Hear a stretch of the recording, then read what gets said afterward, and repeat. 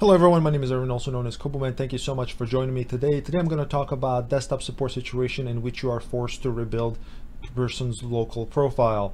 And there are a couple of reasons you would have to do this. First is if the profile is corrupted and you can obviously tell that there are some issues with it. And second reason would be if you move person's uh, domain login to another um, subset of the domain. For example, uh, let's say you have a regular user and now they are in a management position and they need to be placed in a different uh, part of the domain to grant them more permissions. Sometimes the old profile, uh, which is created locally on their computer, can hold on to the old domain settings and not allowing them to, for example, you know, with the new permissions, let's say the new manager has the ability to create icons or create files while the old uh, version of their profile did not have that permission. In this case, you would have to rebuild their local profile. So let me show you what that is in case you're new to this. So every time you log into a computer using domain login, it creates a local profile on your behalf. So um, let me just kind of show you where that is. So if you go to your uh, C drive, if you go to your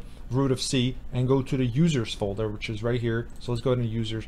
As you can see here, this is a local profile created uh, for me, it's called Cobuman. So this is a um, the local profile for this, right? So if you go in here, you will see different uh, um, different folders that you typically find in a local profile, you know, like documents, um, desktop, favorites, and whatnot, right? But if you go um, a little bit further and see now it's actually hidden, but there's a hidden folder in here, which by the way, you can you can enable so you can see all the hidden folders. It's called app data, right? So if you go into app data folder, um, you will see local, local low, and roaming. Now these folders house um, information and settings for different types of software. These type of different types of softwares can um, you know become corrupted and cause issues. So that's another reason why you would um, you would want to uh, you know rebuild their profile. And I'll show you that exactly um, exactly how to do that.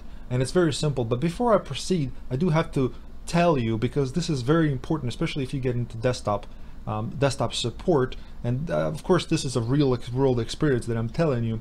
Um, you have to make sure that user doesn't lose any information um, that they already have. So if you go ahead and proceed to rebuild their local profile, everything that they have in here, their current corrupted, in their corrupted profile, for example, is in here. Everything that they have in documents, any icons on desktop, uh, any favorites, anything that's within here will be permanently deleted and it will be gone.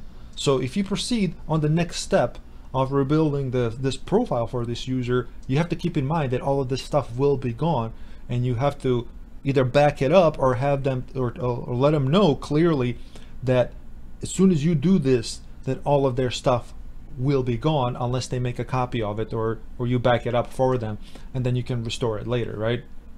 It all depends on on your situation on on the place of business whether this is allowed or not. But it, when it comes down to it this will be gone.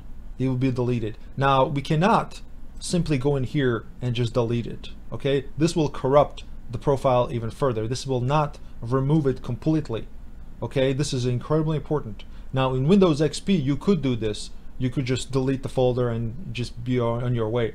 But you, you don't you cannot do this here. It will just corrupt it and it will not work at all. It will just make things worse for you, okay?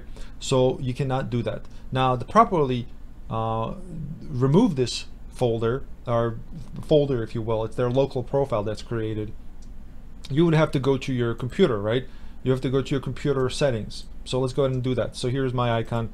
Um, you know what? Let me just go ahead and, and type it here. Computer, and you would go to properties of your computer, right? So let's go to properties here. And under properties, you would go to advanced system settings.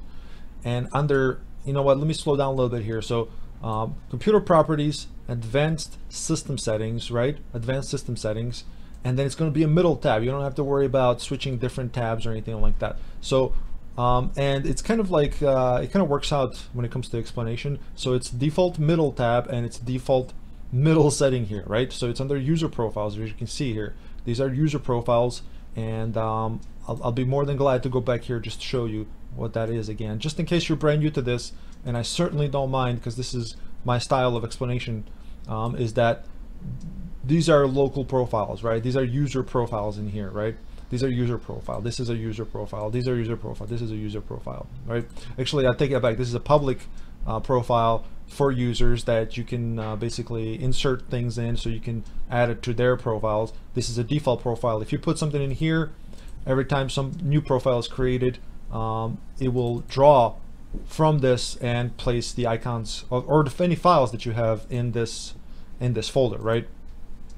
So in order to properly delete this user profile you would have to go to settings here and then you would see this profile that is created here as you can see here it says Cobuman right so if we go in here and to delete this we would simply select it and select delete in my case it's uh, grayed out because um, it's the only local profile that is on here, right? So it's grayed out. But typically, um, you would log in as you under administrator privileges um, and then go to these settings and delete this. After you delete this, you would uh, simply restart the computer. The uh, user would log back in. It may take a while because it has to rebuild this. It has to recreate this new profile within um, users folder. It would create a new profile. So it can take anywhere between, you know, 15 minutes to half an hour, depending. Um, but it will take a while and it will rebuild their profile. And once it's back, like this, for example, you will go back in and restore any data that they may have, uh, that they may, you know, that they wanted to keep. So um, that would that would pretty much do it. And now they can start fresh with with a brand new profile and with the brand new domain settings that are attached to it, and that should resolve majority of issues that are related to that. Okay guys, thank you so much for watching. Um, please let me know if you have any questions related to this and I'll see you next time. Bye-bye.